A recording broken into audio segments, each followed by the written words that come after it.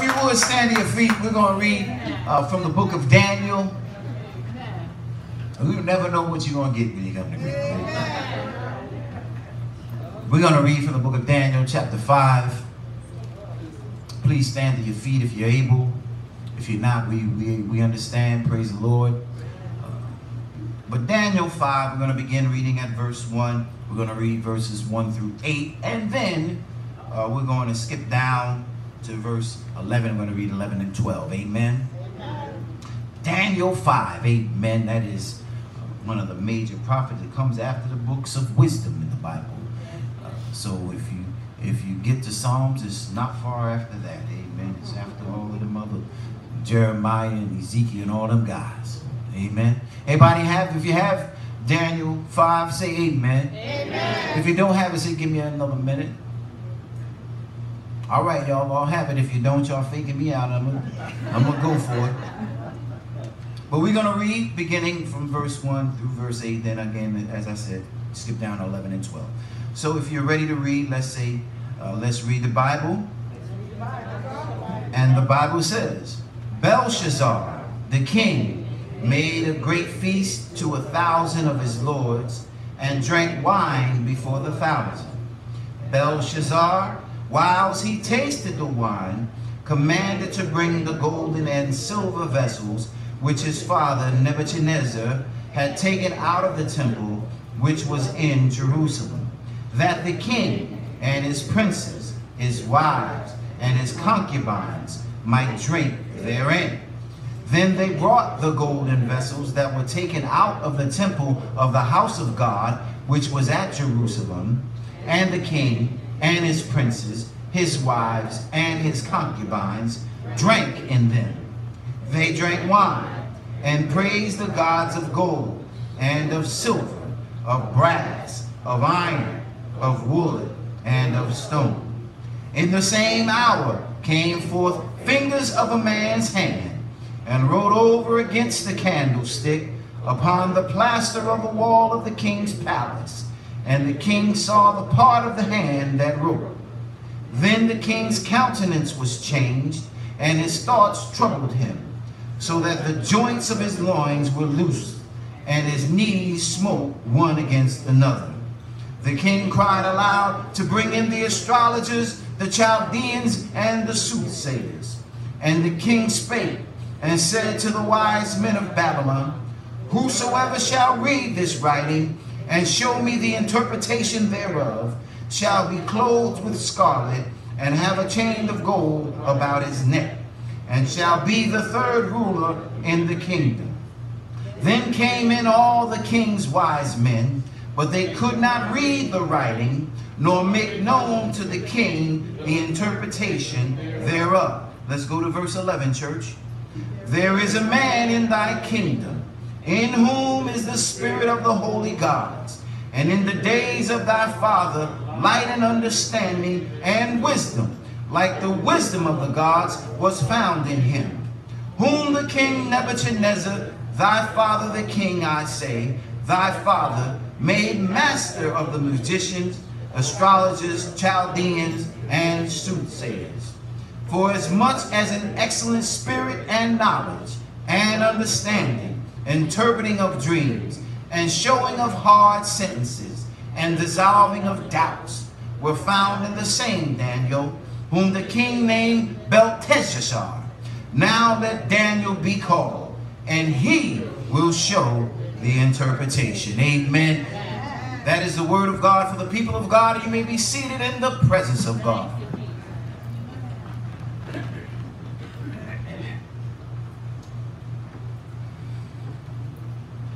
Let us pray. Eternal God, we come again standing behind this sacred desk, asking for preaching power. Asking you, Father God, that you would decrease me and increase in me. Asking, Father God, that you would let the words of my mouth and the meditation of my heart be acceptable in your sight. Father God, asking that somebody here would hear something that'll make them better than when they came. In Jesus' name we pray. Amen. Now, the text that we read together from the prophetic book of Daniel is actually a fulfillment of the prophecy of Isaiah. Some 200 years earlier, Isaiah had predicted that a king by the name of Cyrus would capture Babylon and that would be the begin of the ending, the begin of the ending of the captivity of the children of Israel. Jeremiah also prophesied that the Babylon rule over Judah would last 70 years. We've got to remember in the text that we read, this is occurring in Babylon. Daniel was one of the best and the brightest that they took from Jerusalem and brought to Babylon. Now, this lesson is situated in the Bible in between the time where the three Hebrew boys were thrown into the fiery furnace and and in between the time where Daniel is thrown into the lion's den. So we pick up the lesson 70 years are now up and the prophecy of Jeremiah is about to become reality. And you see, the Medo-Persians had this powerful army and, and they were in the process of taking over the landscape of what we now call the Middle East. And pretty much in that time it was uh, pretty much the known world. They were led by this king named Cyrus. Very powerful, very successful in war. And, and King Cyrus had engaged in battle with uh, Belshazzar and he routed him in his army and Belshazzar retreated back into Babylon. King Cyrus then surrounded Babylon and, and he had King Belshazzar and the Babylonians under siege. Now, now Babylon was a fortified city. It had 30 foot high walls and it had gates that you could only enter in through a river. So if they did not open the gates, you could not get in. And they had stored up wheat in Babylon for uh, enough that would have them and carry them through for several years. And you see, it was important to know that the Euphrates River ran directly through the city of Babylon. And, and those gates, once those gates were closed, there was no way you could attack them. So Belshazzar was, was content he was confident that he was safe inside of Babylon. So when we pick up the lesson in verse 5, Belshazzar is having a party, even though the enemy is right outside of his city. But because he's partying, he doesn't know that Cyrus is building a dam to stop the river so his army can have access to the city and attack. So on today, our thought for this message, our thought is, you reap what you sow.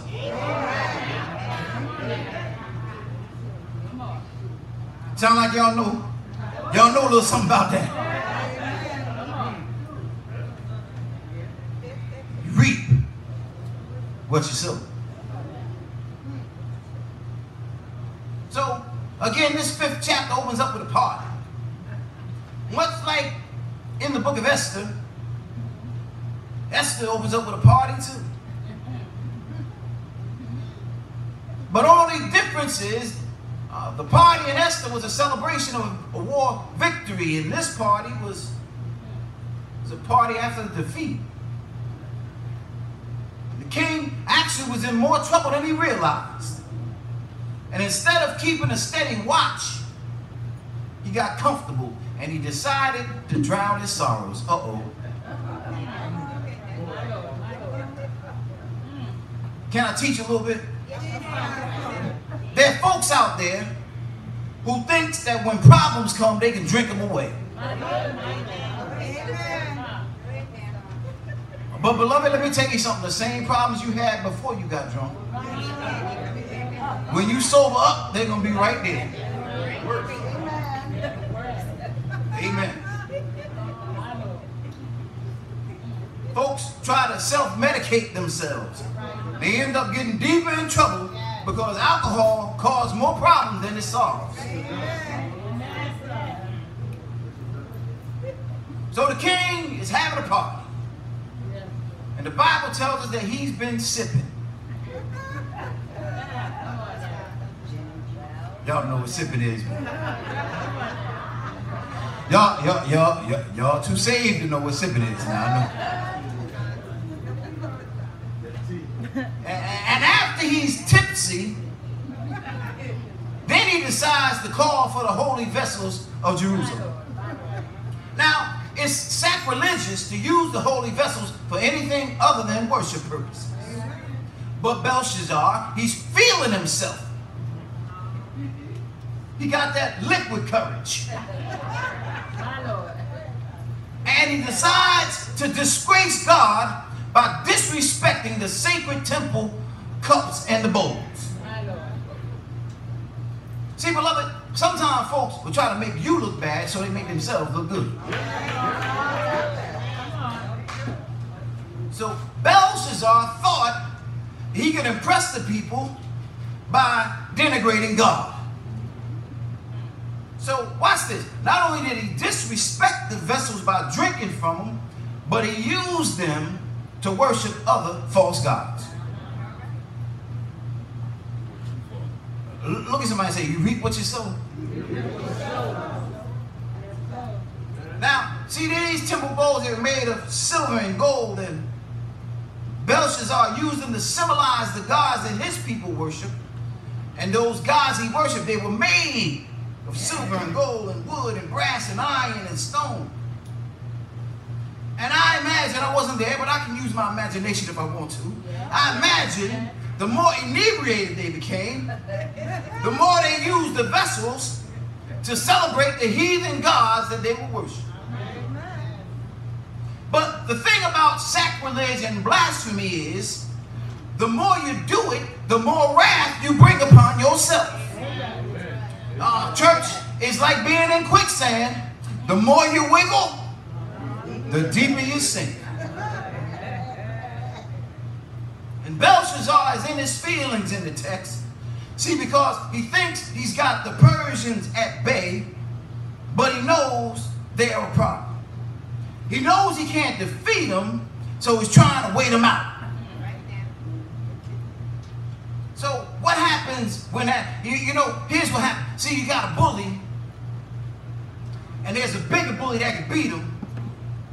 So the bully will turn around then and pick on somebody that they know they can beat. So Belshazzar, he knows he's already conquered Judah, feels superior to him, and he shows off this superiority, superiority by pushing disrespect to the limit. He said, not only am I going to drink wine out of the holy vessels, but I'm going to use them as a symbol of the pagan gods that I worship. Belshazzar is literally saying, I'm going to spit in the face of Jehovah and Judah. He could do it because he felt like he had the people of, of Judah in captivity. Their temple was destroyed. And now he's in a position where he's holding off the Persian army. He thought he was safe in Babylon. They were fortified, 30 foot wall. He thought he was safe. But you know what he really was acting like? He was acting like the little dog behind the fence that barked real loud when the big dog come by. You seen that, right? What happened is one day somebody gonna leave the gate open, or somebody ain't gonna let that dog off the leash.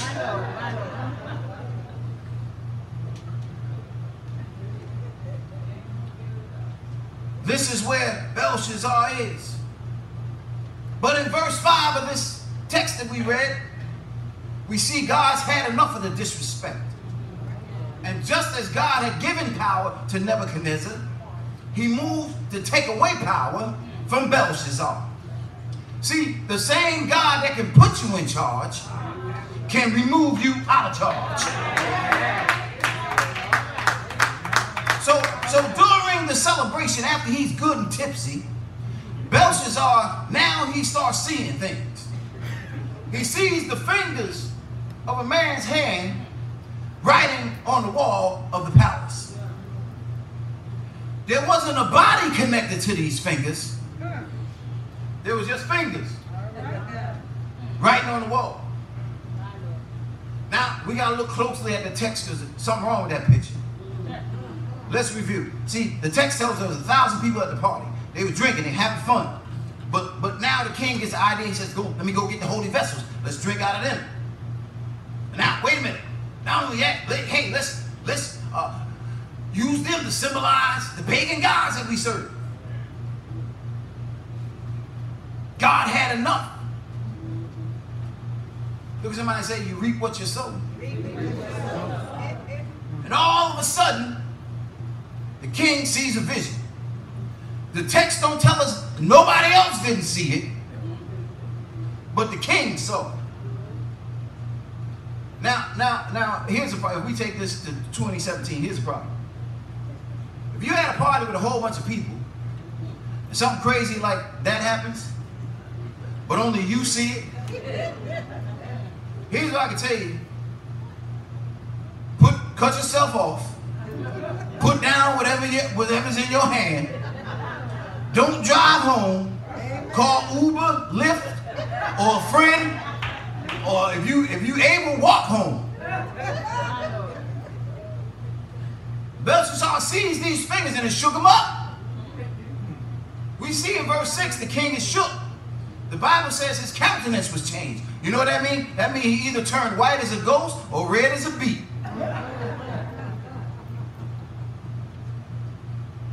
Bible says his thoughts troubled him.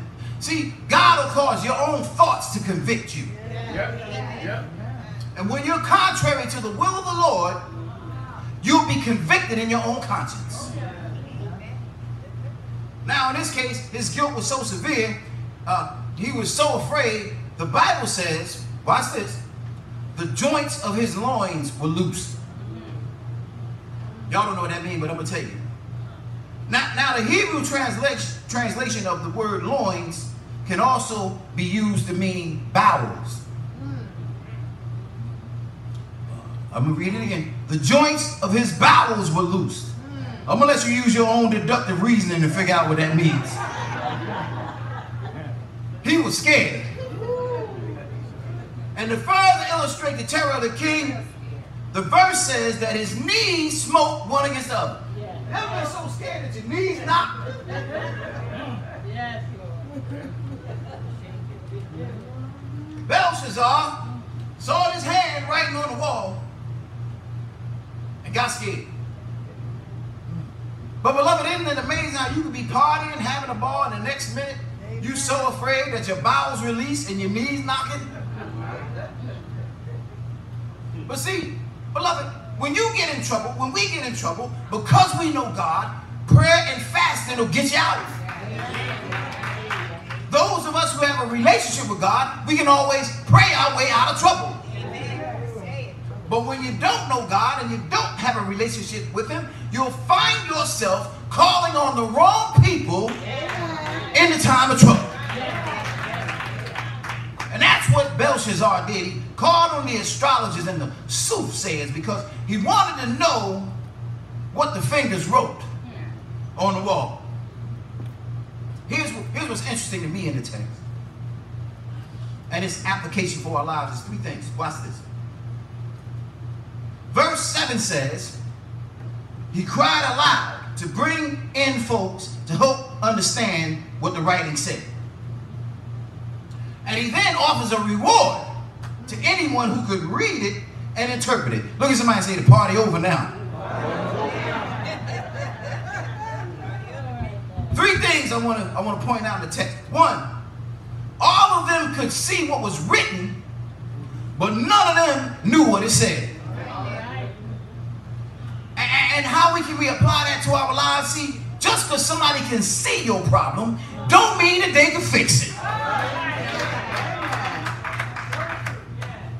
Look at somebody and say, just seeing don't help me. So the king called on men who had expertise. But see, he needed to call on men who had a relationship with God. There going to be times in your life that problems going to come in and people in your life who don't have a relationship with God, they're not going to be able to help you out of your situation.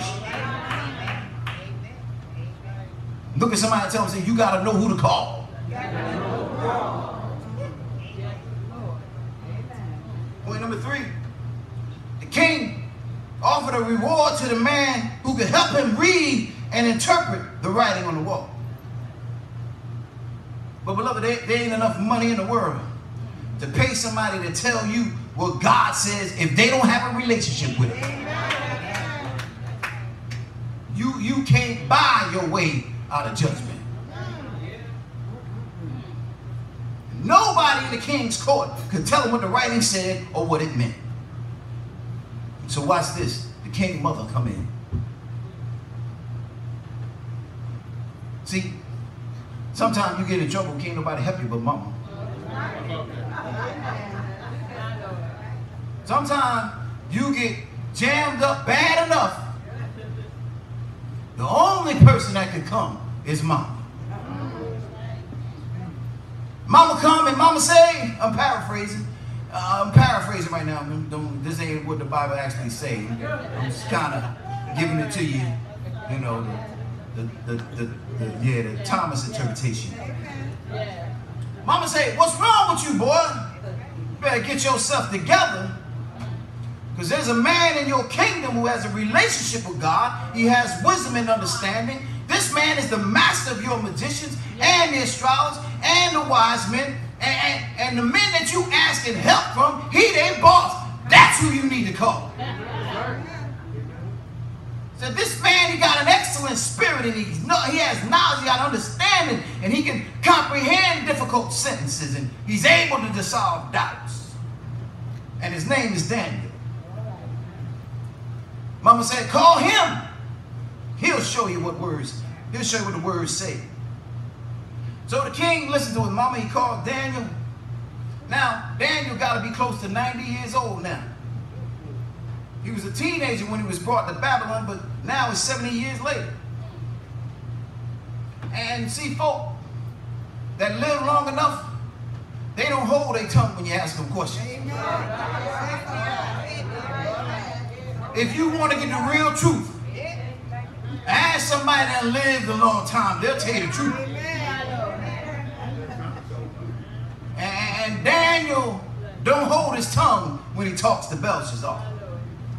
Belshazzar offers Daniel the reward that he offered the other men. And Daniel tells the king, you keep your reward.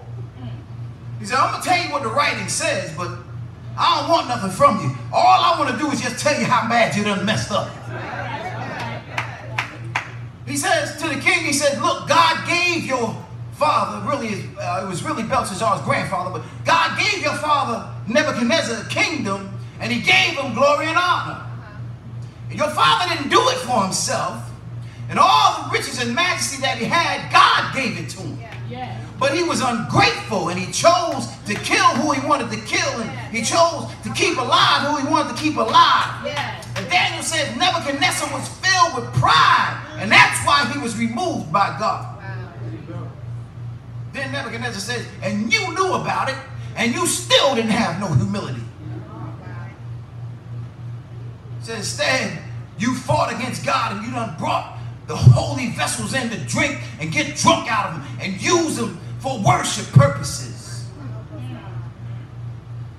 Watch this. He said, you use them as symbols of gods of silver and gold and brass and iron and stone. And none of them gods that you worshiping, they can't see nothing, they can't hear nothing, and they don't know nothing and you ignore the God who places the breath in your body. Now, isn't it interesting that God gives us free will, isn't it? But the things that keep us alive, we don't have no control over. Ain't nobody in here that can stop yourself from breathing if you wanted to. God controls that. God doesn't give you the ability to control your own breathing. Your heartbeat. Your heart start beating, you'll pass away. You can't control that. The things that keep us alive, God controls.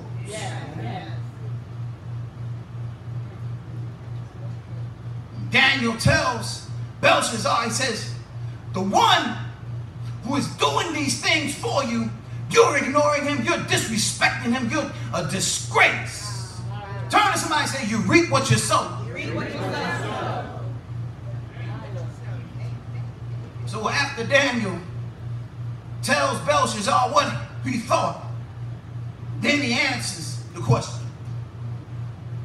He said, the fingers that you saw writing on the wall, those were God's fingers.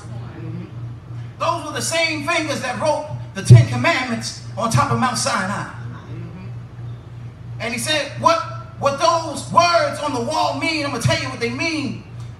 Mene, M-E-N-E, means God has numbered your kingdom and finished it. Tekel, T-E-K-E-L, means you, you have been evaluated and found wanting.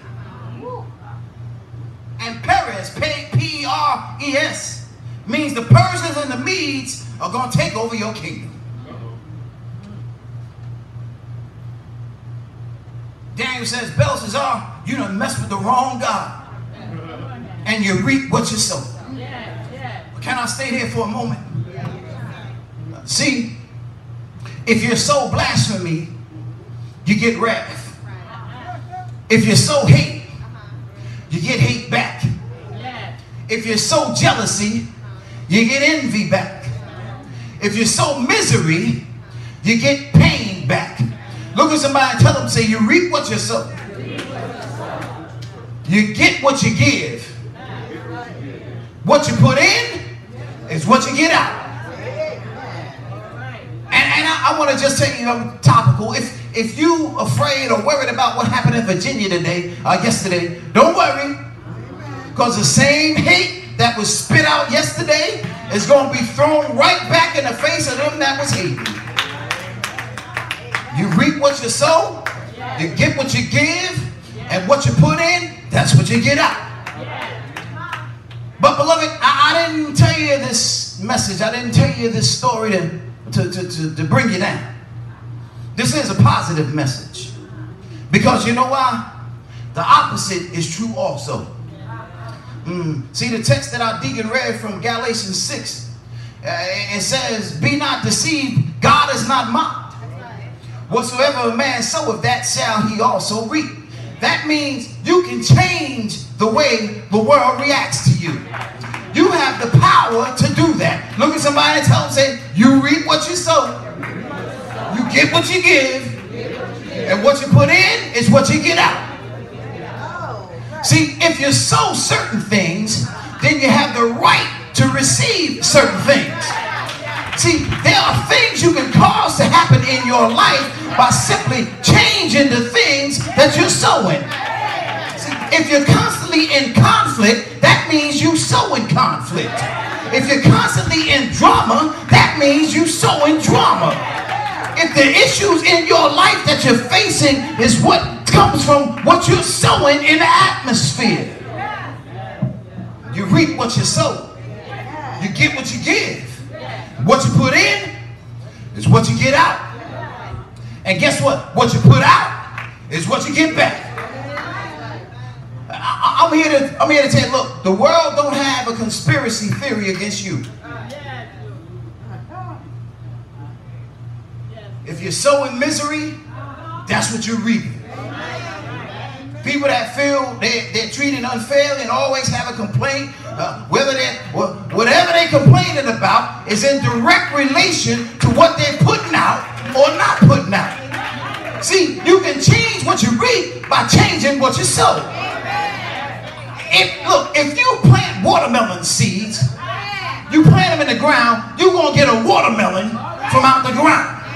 You can't take apple seeds and expect a cherry tree to grow up.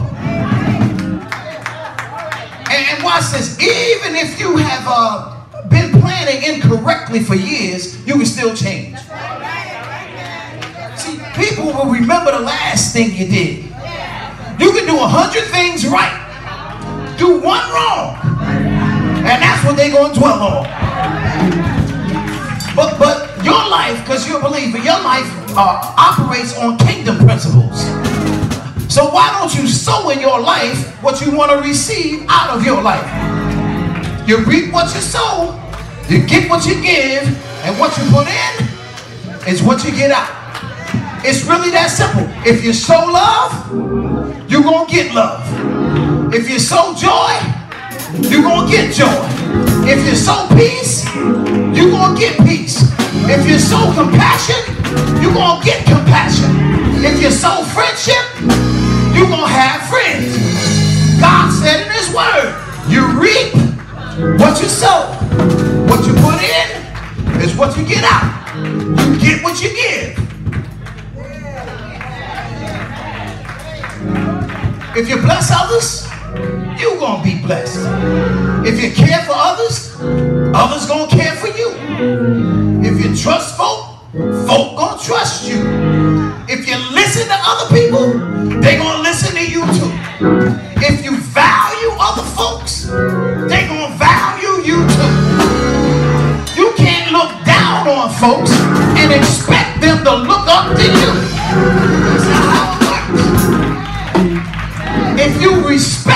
Others, they gonna respect you.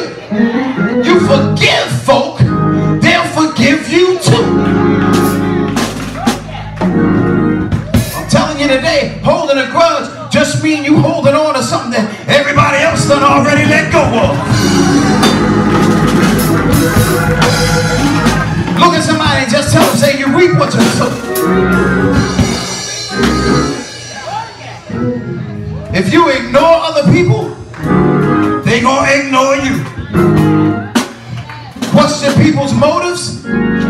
gonna question yours too. But if you sow happiness,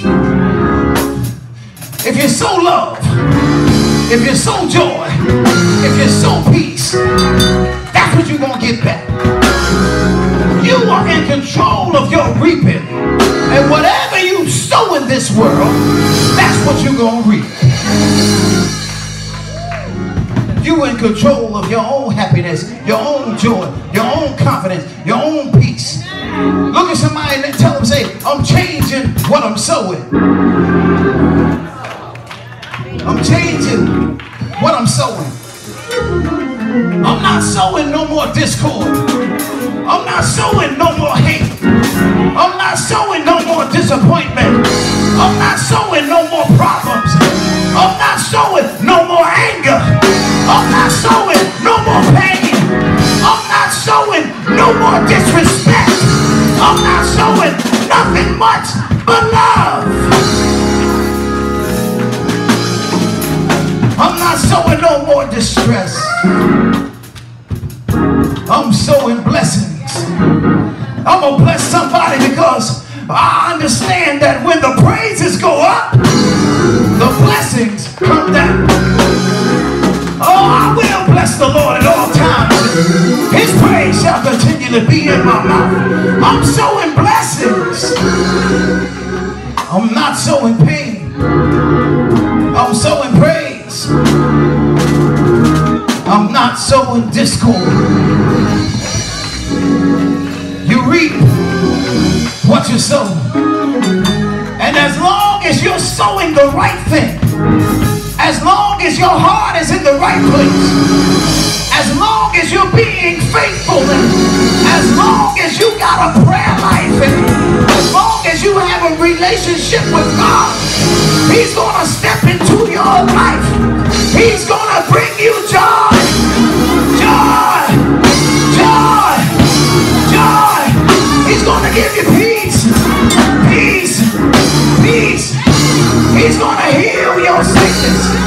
He's to make you jump for joy. He's to give you joy in your heart. Joy for tomorrow.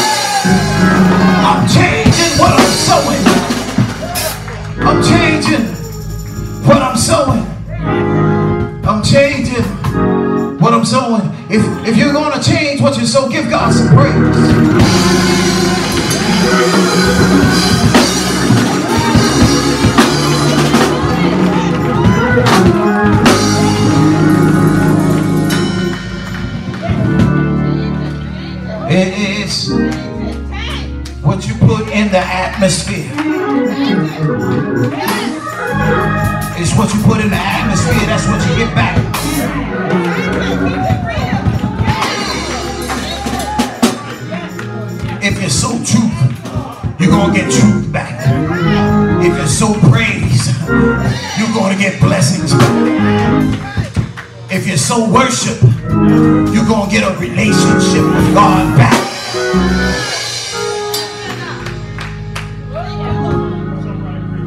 Gotta change what you're sowing. You sow weeds, you're gonna grow weeds.